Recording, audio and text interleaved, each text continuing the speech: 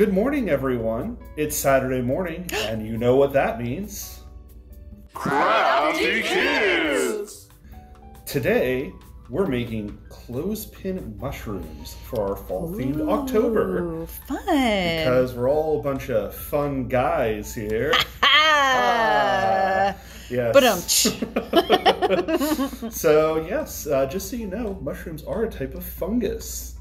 And they mm. mostly grow in fall, so that's why I thought it'd be a lot of fun to start making our own. I had no idea. That's so cool. Many can grow at any time of year, but a lot only come out when it's fall. So, Huh.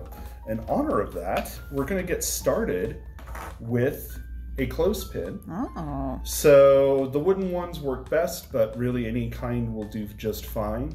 Um, and then uh, to start, we're going to make sure to stick it to the top part, the, tar- the part that you actually hold on to, I see. because that way you can clip it onto stuff. How fun. I know, right? Oh, I can't wait. So, next, you take a sheet of construction paper. It can be any color that you want. I've chosen red just because I think that's a fun fall color. Hmm. And then you just cut out a half circle. And you can make it as big or as little as you want. Hmm. So fun. hmm So it'll look kind of like a little dome. Okay. And then the next thing you do is we got to give our mushroom friend some spots. yes. so, one thing you could do is take out another sheet of construction paper and make it a different color. Hmm. I'm just going to do mine with markers because that way he matches my friend over here. Yeah. This is like a ladybug mushroom. Yes. Oh, that's cool. Yeah. So when you're done, it'll look a lot like that. Oh. Now the next thing you do is you take our clothespin here, Mm-hmm. And then you go on ahead and put some glue on the clothespin. Hmm. So again, remember we're gonna do it toward the top because that way we get to clip it to stuff. Yes. And do want to put a decent amount, maybe a little bit more than you normally do, just because that way it makes sure that it stays on when you're going to clip stuff. Mm-hmm. Um, and then you just glue the top on there, kind of press it down.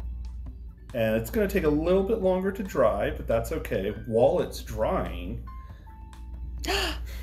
in the meantime, we can take our marker and do some other fun stuff. Yay. So, for this mushroom, I'm gonna give our mushroom friend maybe some eyebrows here How fun. and maybe like a little smirk. And then, you know what? Let's give them a nice little bow tie because I think that's fun. That is fun.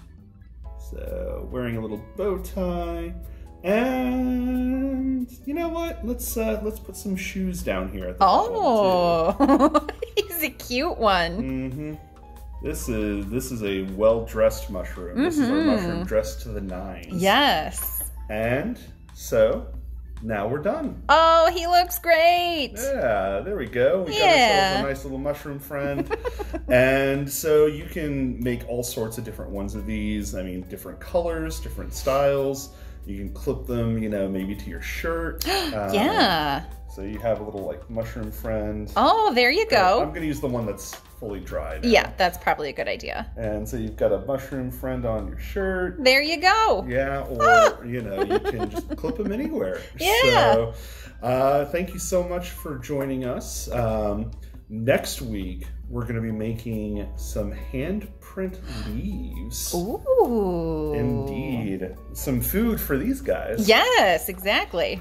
In order to do that craft, uh, if you want to get some materials ahead of time, you're going to need some fall colored paints. Um, anything like reds, oranges, yellows, just all sorts of those neat, pretty fall colors. Fun. Uh, paper plates, a marker, which is optional, but it does help. Mhm. Uh, or, t- or a toothpick, also optional, but it does help. hmm And then some construction paper. Very And cool. that should be all you need. Awesome. But thank you for joining us. And if you'll excuse me, I've got some mushrooms to plant. So, bye bye.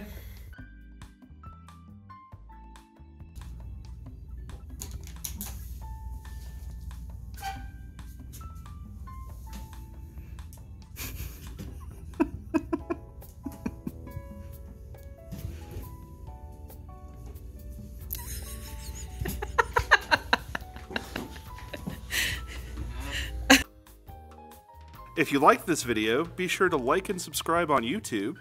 And like and share on Facebook. Help us share our crafts with as many kids as we can. Thanks, Thanks, everybody. everybody.